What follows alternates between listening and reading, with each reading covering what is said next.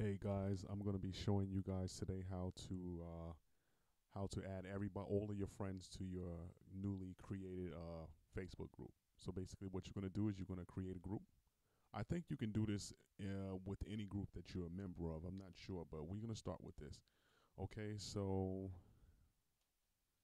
my latest.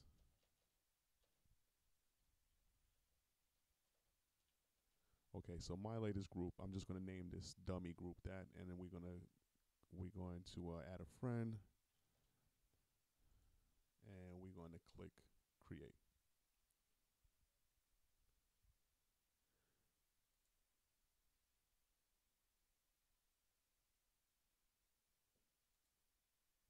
All right, now guys, uh, what what we're gonna do here is uh, how you gonna add your friends. You're gonna click anywhere in the blue area. So here, here, here, anywhere in the blue area that's not written on, you can click, and you're gonna click inspect right here.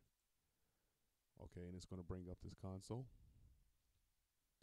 and you're gonna make sure that this is clicked console right here. All of these little tabs right here, you're gonna find console, and you're gonna click that and you're going to purchase this code that I'm going to give you and you're going to put this code here.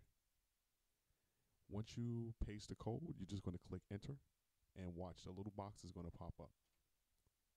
Okay, you see that box? It's adding everybody. See, it just added all of my friends just that quick. Okay, and then that's it. What you do is you you uh, refresh the page, and it'll show you all of the friends in the group uh, let me excuse me. Let me refresh one more time. As you can see, it has 49 members. I have 49 friends in this on this account, so it has 49 members in the group that I just created.